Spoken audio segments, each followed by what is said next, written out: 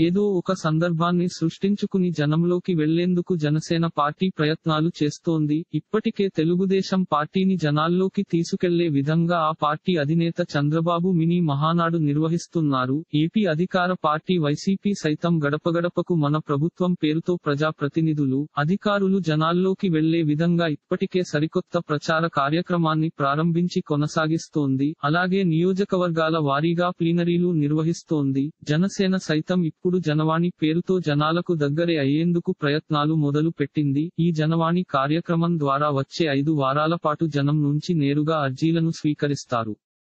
ప్రజలకు ప్రత్యక్షంగా అందుబాటులో ఉంటూ బాధితుల పక్షాన వాటిని స్వీకరిస్తారు. ప్రజల సమస్యలను తెలుసుకుని వాటిని అధికారులకు తెలియజేసేందుకు ప్రత్యేకంగా ఈ కార్యక్రమాన్ని నిర్వహించాలని పవన్ కళ్యాణ్ నిర్ణయించడంతో జనవాణి పేరుతో దీనిని హైలైట్ చేసేందుకు ప్రయత్నిస్తున్నారు. ఈ మేరకు జనసేన రాజకీయ వ్యవహారాల కమిటీ చైర్మన్ నాదెండ్ల మనోహర్ దీనికి సంబంధించిన పూర్తి వివరాలను విడుదల చేశారు. జులై మూడో తేదీన విజయవాడలోని మాకినేని బసవకొండయ్య ఆడిటోరియంలో జనవాణి కార్యక్రమాన్ని ప్రారంభిస్తారు మధ్యాహ్నం మూడు గంటల వరకు పవన్ కళ్యాణ్ అందుబాటులో ఉంటారు. ప్రజల నుంచి స్వయంగా ఆయనే అర్జీలను స్వీకరిస్తారు. అక్కడే వాటికి జనసేన ప్రతినిధులు రసీదును కూడా ఇచ్చేందుకు ఏర్పాటు చేశారు. తొలి రెండు ఆదివారాలు ఇక్కడే ఈ కార్యక్రమాన్ని నిర్వహించాలని నిర్ణయించారు. ఆ తరువాత రాయలసీమ ఉత్తరాంధ్ర ఉభయ గోదావరి జిల్లాలలోనూ నిర్వహించేందుకు ఏర్పాట్లు చేస్తున్నారు. వైసీపీ అధికారంలోకి వచ్చిన మూడేళ్ళలో ప్రజల అర్జీలను జగన్ స్వీకరించలేదని అలాగే జిల్లా కలెక్టర్లు నిర్వహిస్తున్న